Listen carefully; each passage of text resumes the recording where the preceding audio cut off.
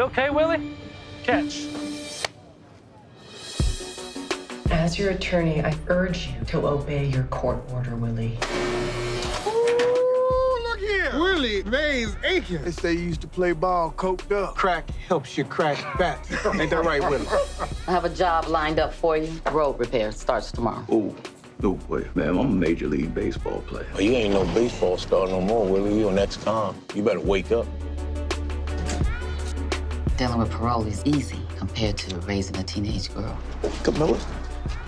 I need her to love me. She has a lot of pain. It doesn't go away overnight. Nobody's even asking you for that much. The bar is set at be there for your child. And that's all my fault. It is your fault. Get out the car. I got a plan.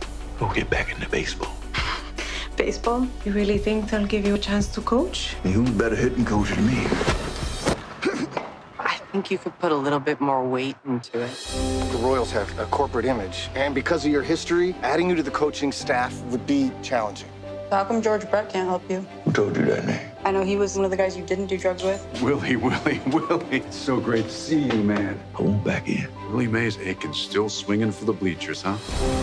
If you do get back into it, are you going to leave again? I'll never leave you again, Camilla. In direction that you Okay, don't. no, I know. It is about your team. It is about your family.